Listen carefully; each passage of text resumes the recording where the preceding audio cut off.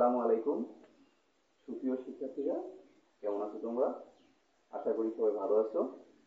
তোমরা জানো, এই মুহূর্তে আমাদের দেশে করোনা ভাইরাস প্রভাব বিস্তার করছে। তাই আমাদের প্রতিষ্ঠান বন্ধ রয়েছে।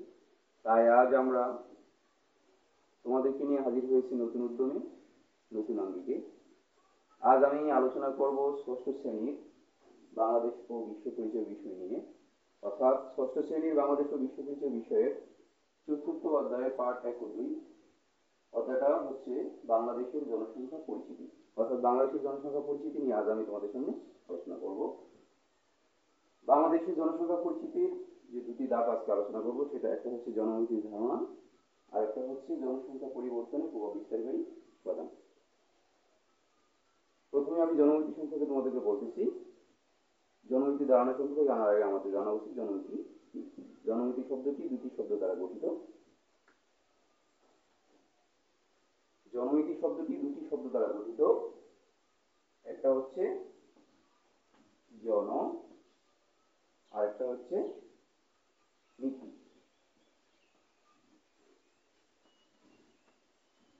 দুইটা শব্দ দ্বারা গঠিত জনমিতি। জন শব্দের অর্থ হচ্ছে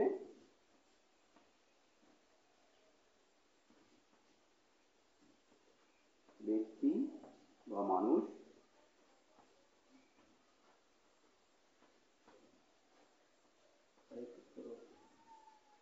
অপরপক্ষে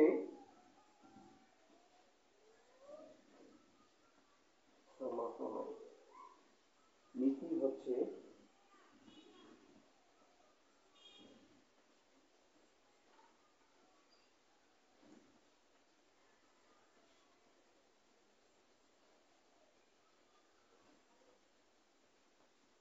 পরিমাপ করা তাহলে তোমরা দেখতে পাচ্ছ এখানে একটা শব্দ হচ্ছে জন, আর একটা শব্দ হচ্ছে নীতি।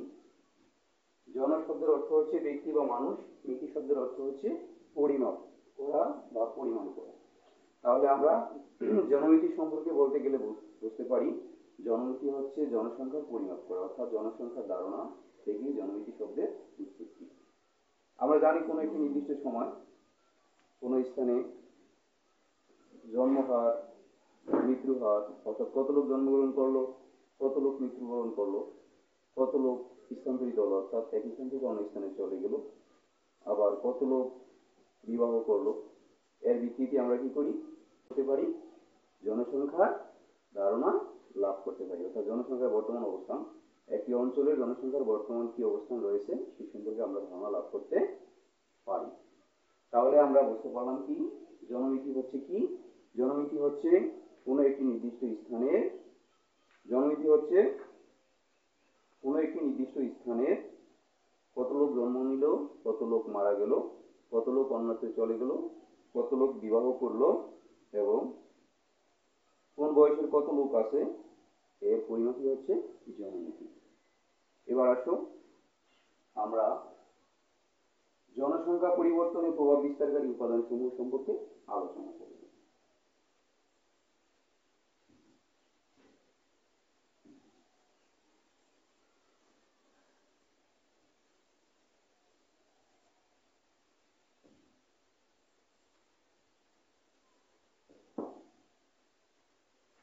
আমরা জানি এমন কিছু উপাদান রয়েছে যে যে উপাদান সমূহ জনসংখ্যা পরিবর্তনের প্রভাব বিস্তার করে আমি এই উপাদান সমূহ তোমাদেরকে দেখাইতেছি।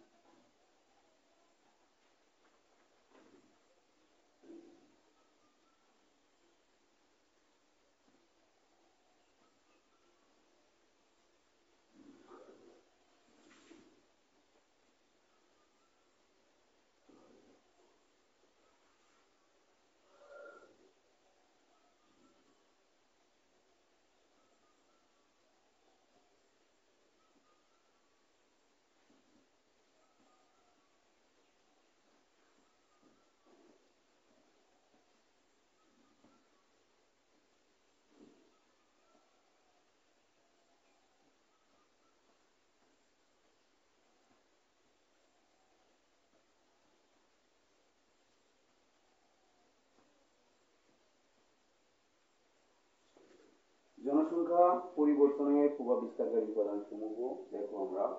এক, দুই, তিন, চার, পাঁচ, পাঁচটা ভাগে ভাগ করেছি এখানে। তার ভিতরে প্রথম একটা ভাগ রয়েছে, জন্ম। অর্থাৎ জন্ম হওয়ার কীভাবে জনসংখ্যা পরিবর্তন প্রভাব বিস্তার করে, তা এখন আমি আলোচনা করতেছি জন্ম হওয়াটা কি সেটা আমাদের জানা উচিত। অর্থাৎ কোনো একটি নির্দিষ্ট সময় একটি নির্দিষ্ট দেশে প্রতি হাজারে, প্রতি হাজার নারীদের সংখ্যক জীবিত সন্তান জন্ম দেয়, এটাই হচ্ছে জন্মহার জন্মহার আমরা কি বুঝলাম? জন্মহার সম্পর্কে কোনো একটা নির্দিষ্ট সময়, কোনো একটি নির্দিষ্ট স্থানে প্রতি হাজার নারী যে সংখ্যক জীবিত সন্তান জন্ম দেয়, তাই হচ্ছে জন্মহার তোমরা জানো আমাদের দেশটি একটি জনবহুল দেশ, আমাদের দেশে এমনি এমনি জনসংখ্যা বেশি। তাছাড়া আমাদের প্রতি বর্গ কিলোমিটারে প্রায়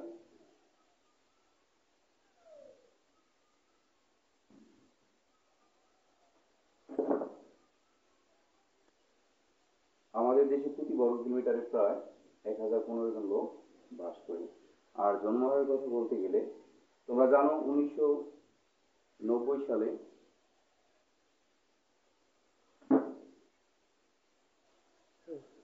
তোমরা জানো যে আমাদের উপমহাদেশে বাংলাদেশ, ভারত, পাকিস্তান এই দেশসমূহ প্রভৃতি দেশসমূহেতে জন্মহার বেশি।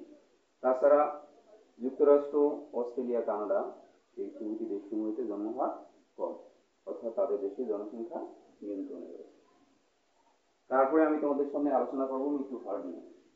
অর্থাৎ মৃত্যু হারটা কি সেটা আমাদের জানা উচিত।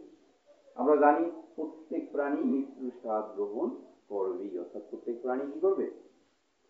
অবশ্যই মৃত্যু গ্রহণ করতেই করবে মৃত্যুহার বলতে আমরা এটাই বুঝি যে কোনো একটি নির্দিষ্ট সময় প্রতি হাজার, হাজারে নির্দিষ্ট বয়সের কত লোক মৃত্যুবরণ করল, তাই। অর্থাৎ মৃত্যুহার বলতে আমরা বুঝি, কোনো একটি নির্দিষ্ট সময়, একটি নির্দিষ্ট এলাকার প্রতি হাজারে নির্দিষ্ট বয়সের কত লোক মৃত্যুবরণ করল, তাই হচ্ছে মৃত্যুহার যেমন ধরো উনিশশো নব্বই সালে বাংলাদেশে প্রতি হাজারে পাঁচ বছরের কম বয়সী শিশু মৃত্যুবরণ করছিল একশত চুয়াল্লিশ জন, অর্থাৎ প্রতি হাজার মৃত্যু, মৃত্যুর হার ছিল কত? একশো চুয়াল্লিশ। আবার দুই হাজার পনেরো সালের তথ্য অনুযায়ী প্রতি হাজারে পাঁচ বছরের কম বয়সী শিশু মৃত্যু হার ছিল মাত্র আটত্রিশ জন। অর্থাৎ এই মৃত্যু হার কমে যাওয়ার কারণে জনসংখ্যা পরিবর্তনের প্রভাব বিস্তার করেছে। অর্থাৎ মৃত্যু হার কমে যাওয়ার কারণে জনসংখ্যা দিন দিন বেড়ে যাচ্ছে। তারপরে আমরা আলোচনা করব স্থানান্তর। স্থানান্তর নিয়ে এখন আমরা আলোচনা করব। স্থানান্তর জিনিসটা কি? স্থানান্তর মূলত দুই ধরনের। একটা হচ্ছে অভ্যন্তরীণ স্থানান্তর, একটা হচ্ছে আন্তর্জাতিক স্থানান্তর। তোমরা স্বাভাবিকভাবে দেখবা যে আমরা কেউ গ্রাম থেকে হয়তো শহরে চলে যাই, অথবা চাকরির কারণে একজন গ্রাম থেকে শহরে চলে গেল, অথবা অন্য কোনো কারণে শহরে চলে গেল, অথবা শহর থেকে কিছু লোক আমাদের গ্রামে আসলো। এটাই হচ্ছে স্থানান্তর। এটা হচ্ছে অভ্যন্তরীণ স্থানান্তর, অর্থাৎ দেশের ভিতরে কি করে? স্থানান্তর। আবার দেখা যায় কেউ কেউ চাকরির জন্য বিদেশ চলে যায়, অথবা নাগরিকত্ব নিয়ে বিদেশ চলে যায়, অথবা ব্যবসার উদ্দেশ্যে বিদেশ চলে যায়, এটা হচ্ছে আন্তর্জাতিক স্থানান্তর। তোমরা জানো যে অভ্যন্তরীণ স্থানান্তরের ফলে দেশের জনসংখ্যার কোনো পরিবর্তন হয় না। অর্থাৎ দেশের এক অঞ্চল থেকে অন্য অঞ্চলে চলে গেছে। এতে করে জনসংখ্যার কোনো পরিবর্তন হয় না। অভ্যন্তরীণ স্থানান্তরের ফলে দেশের জনসংখ্যার কোনো পরিবর্তন হয় না। কিন্তু আন্তর্জাতিক স্থানান্তরের ফলে কি হয়? দেশের জনসংখ্যার পরিবর্তন হতে পারে। তারপরে আমরা আলোচনা করব বিবাহ। তোমরা জানো কম বয়সী ছেলে মেয়েদের বিবাহের কারণে জন্মহার বৃদ্ধি পায়, অর্থাৎ দেশের জনসংখ্যা বৃদ্ধি পায়। তাই আমাদের দেশের সরকার কি করল? বাল্য বিবাহ রোধে যাবতীয় ব্যবস্থা গ্রহণ করেছে। তারপরে রয়েছে দেখো সামাজিক গতিশীলতা। সামাজিক গতিশীলতা কি? সেটা আমাদের জানা উচিত। আমরা জানি যে সমাজ পরিবর্তনের সাথে সাথে মানুষ কি করে? পরিবর্তন হয়। এটাই হচ্ছে সামাজিক গতিশীলতা। এখন কীভাবে মানুষ পরিবর্তন হয়? সেটার একটা তথ্য আমি বলতেছি তোমাদেরকে। ধরো নিম্নবিত্ত শ্রেণির একজন নিম্নবিত্ত শ্রেণির একজন লোক উচ্চ পদে অধিষ্ঠিত হয়ে উচ্চ চাকরি নিয়ে চলে গেল।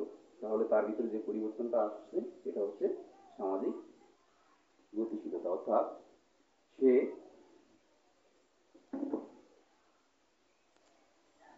সে সচেতনতায় সচেষ্ট হবে, অর্থাৎ তার ভিতরে সচেতনতা বৃদ্ধি পাবে। একটা মানুষ যখন নিম্নপদ থেকে উচ্চ পদে অধিষ্ঠিত হয়, তখন তার ভিতরে সচেতনতা বৃদ্ধি পাবে। ফলে সে জনসংখ্যা নিয়ন্ত্রণে কি হবে? সক্ষম অর্থাৎ জনসংখ্যা নিয়ন্ত্রণের ক্ষেত্রে সে গুরুত্বপূর্ণ ভূমিকা পালন করবে। অর্থাৎ দেশে ফলে তার মধ্যে সচেতনতা বাড়বে এবং সন্তান সংখ্যা যৌক্তিক পর্যায়ে রাখতে পারবে। তাহলে আমি তোমাদের কাছে এখন আলোচনা করলাম কয়টা বিষয়? আমি আলোচনা করলাম, প্রথমে আলোচনা করলাম জননীতির ধারণা। এরপরে আলোচনা করলাম জনসংখ্যা পরিবর্তনে প্রভাব বিস্তারকারী উপাদানসমূহ। জনসংখ্যা পরিবর্তনের প্রভাব বিস্তারকারী পাঁচটা প্রধান আলোচনা করলাম আমি তোমাদের সামনে। একটা হচ্ছে জন্মহার, তারপরে হচ্ছে মৃত্যুহার, তারপরে হচ্ছে স্থানান্তর, তারপরে হচ্ছে বিবাহ, তারপর হচ্ছে সামাজিক গতিশীলতা নিশ্চয়ই তোমরা বুঝতে পারছ, আর যদি তোমাদের বুঝতে কোনো সমস্যা হয়, তাহলে পরবর্তী ক্লাসে আমার সাথে ইনশাল্লাহ যোগাযোগ করবে।